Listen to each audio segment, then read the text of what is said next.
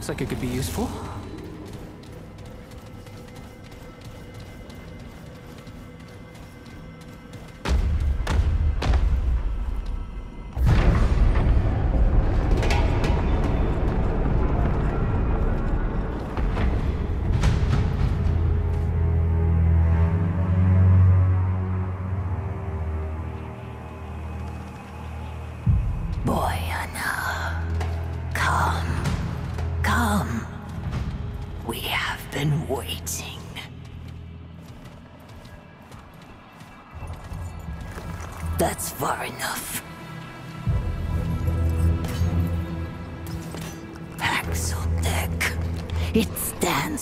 The Eternal Empress, Mistress of the Red Court, favored of the Thane.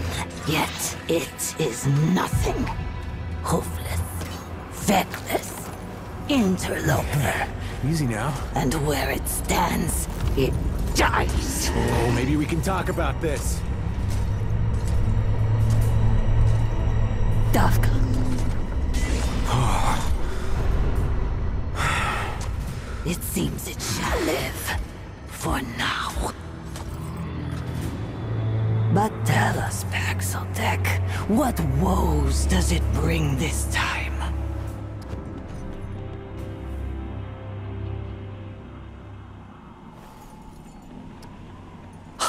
Improbable. For what reason, Paxeltech? Give answers, lest improbable become impossible.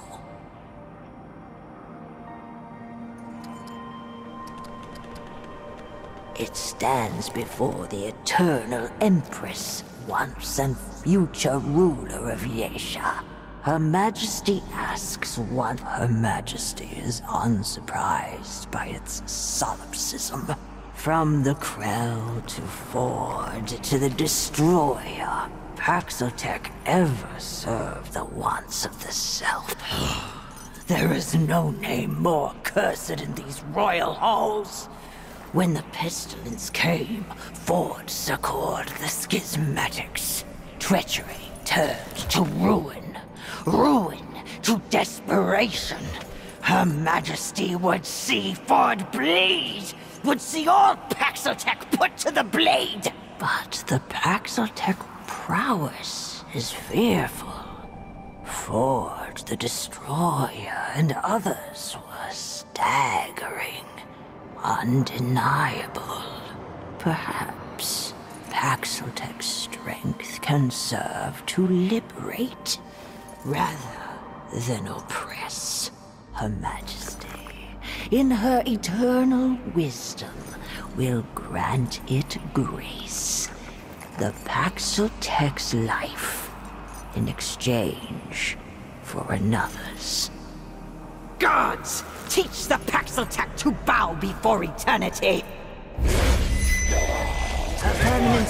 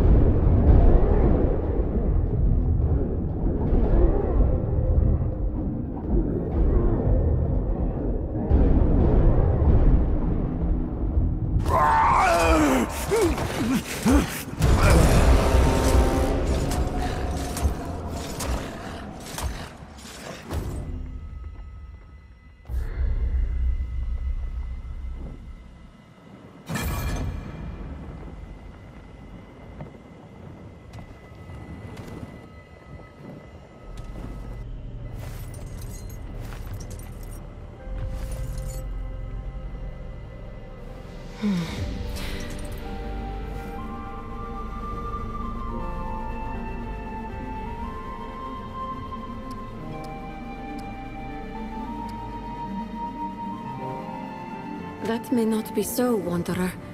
If you are what I think you are, you will be traveling far beyond these walls. But first, there is something you must learn. I am not the Empress. The one who calls herself Interpreter is the real Empress. Once she was truly Non-Yod Tav, ageless, or so they say. When the Thane tree died, the Highborn all began to age. Eventually, she too succumbed to the touch of time. My presence on the throne is but a concession to her vanity. You have had a task set before you. Asked, perhaps, for foolish reasons by one both venal and selfish. But the task itself is pure, just the same. I shall release you. I ask only that you stay a moment and give ear to my entreaty. Yaesha is music. The way of the pen, a song. In this song, there is a growing harmonic, sung by the forward-gazing. We call ourselves the Children of the Red Doe. Our eyes turn toward a future for our kind, one free of root and rot. But this future cannot begin while the abomination walks. Our god Spark is trapped within its own life. What the Empress demanded of you, I instead implore. Travel to the Thane Tree. Remember, the dreams of Yaesha's children walk with you.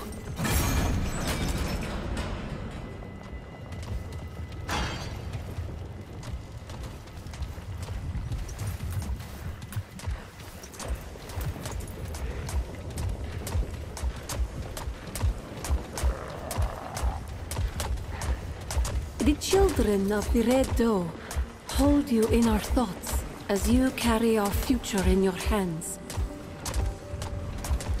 Yaesha's future lies not in freedom from death, but in harmony with life. Put the many-faced one to rest. Free the Godspark. Our hopes are in your hands. Strike through and free this world to live anew.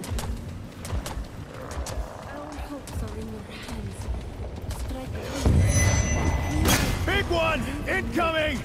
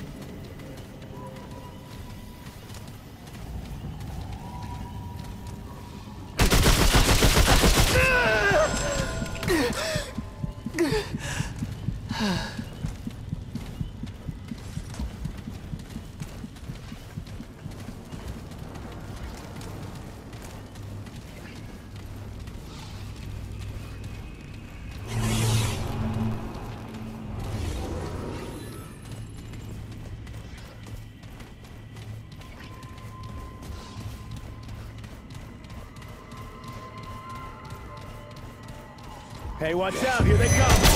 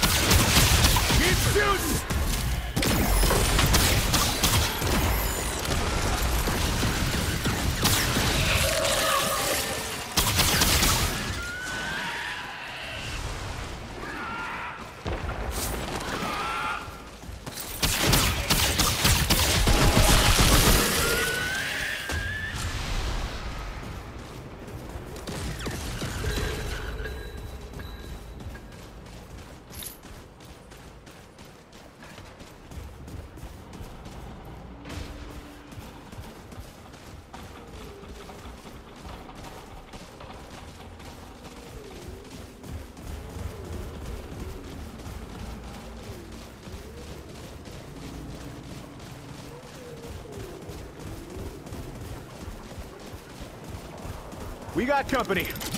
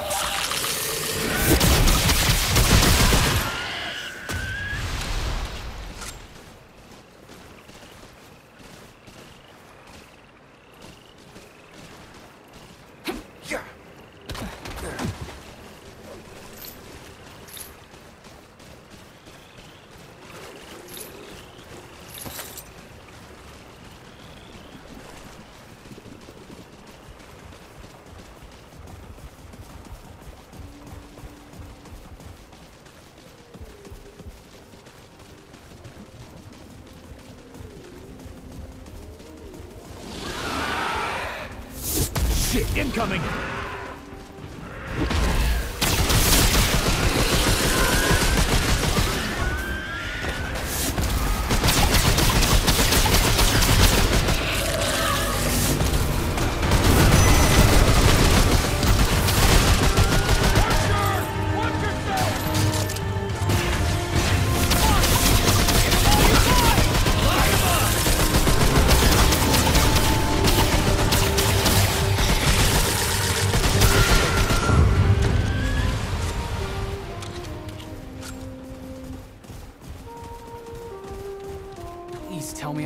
Hearing things.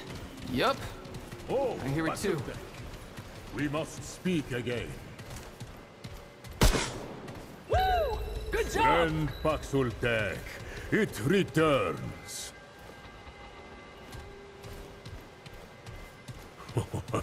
ah, of course.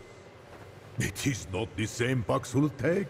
Forgive me. The horns, it does not have them. A new friend then, hmm? So what brings it to beleaguered Yaesha? If it is per, I would once travel through, but beware.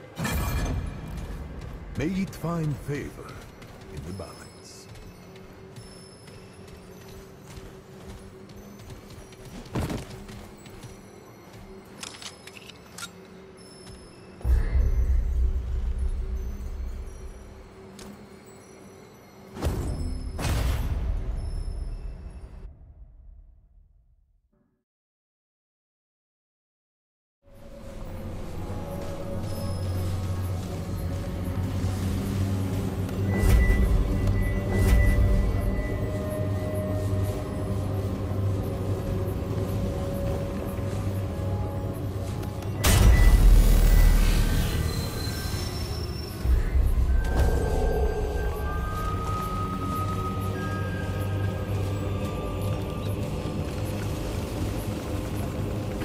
Getting a good vibe from this place.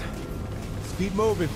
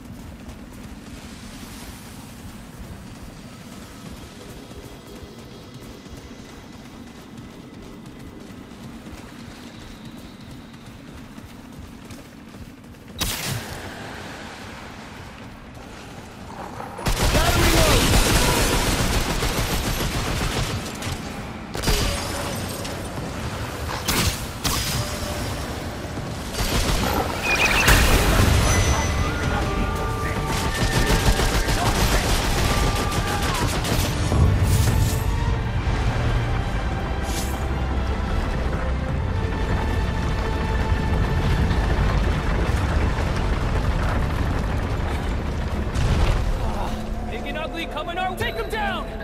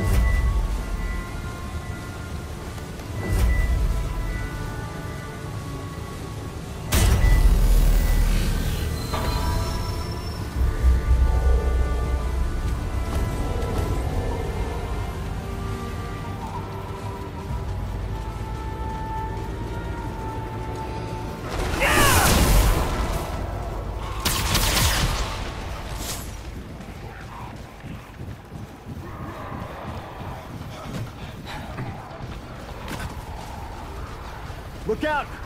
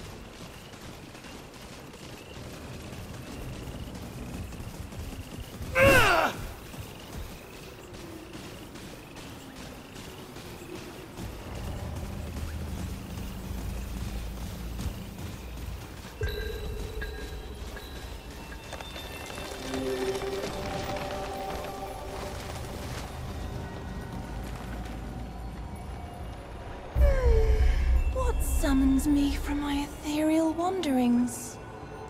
Muzar. What kind of beast is this? Hmm. Paxel Tech. I can share my wanderings with you. But first, I seek the knowing, the truth of nature held within your ark. You want to answer? So I will ask. Answer these questions true, sweet beast, so that your ark may be known and your eye may open. And do choose wisely. Answer from your heart. Consider that it is you who discovers the Thaen, the tree that offers immortality to all who eat its fruit. You could share this gift with all, but doing so may lead to war and embitterment. To the immortality of those who do not deserve it and will only abuse eternal life. Or you could limit immortality to the deserving and thus, through the deserving, bring a better life for all. Do you give immortality to all? Or only... Ha! Oh dear. no bother, it's nothing. Moving on. An elder leads a group to a cave on the sea coast. The poor fellow falls, trapped beyond reach and unconscious. In a short time, high tide will be upon him, and he will likely drown. A spell worker among the troop possesses a charged crystal of explosive power. It could be used to collapse the cave and halt the tide. but it is very dangerous. Do you leave the Elder to his fate? Or do you attempt to halt the tide, at the risk of his life? Hmm. Your son is tied to the track of a minecart, and will surely die unless you pull a switch to save him.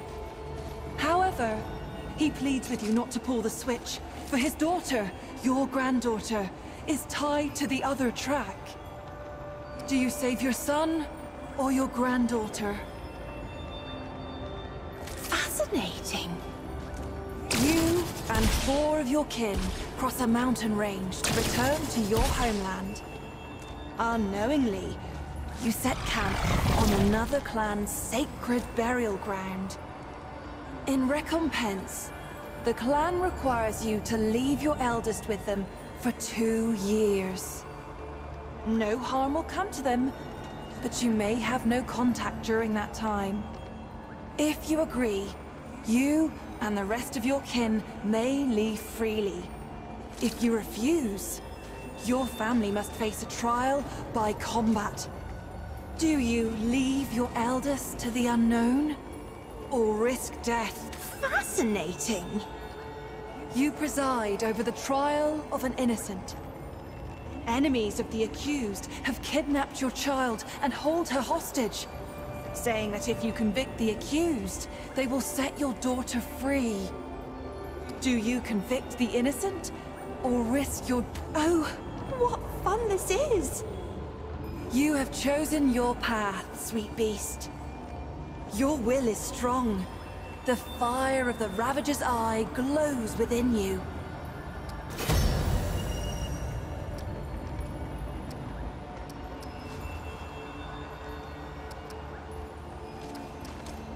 In the arc of every being, there are two eyes. We may see out of either, but most favor one over the other.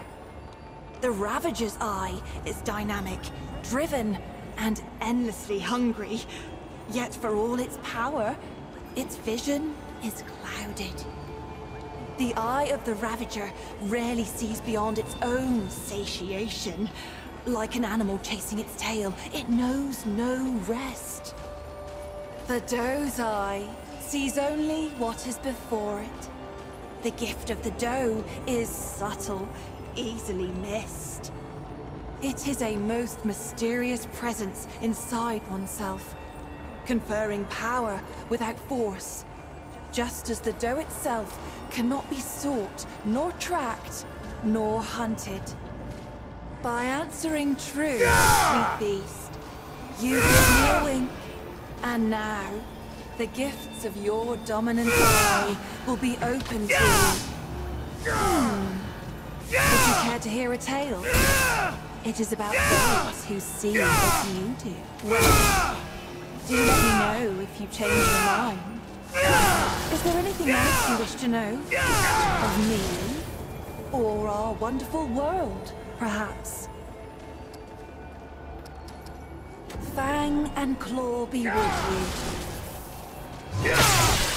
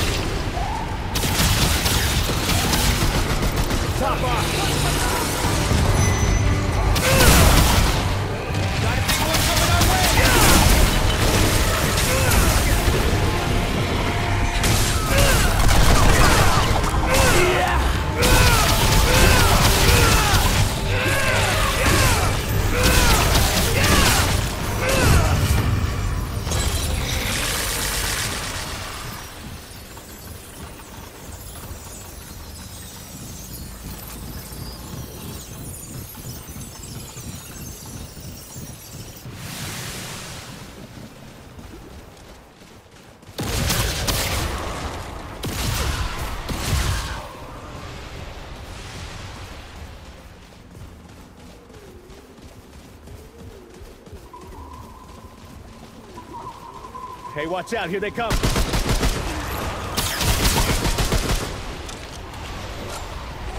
Give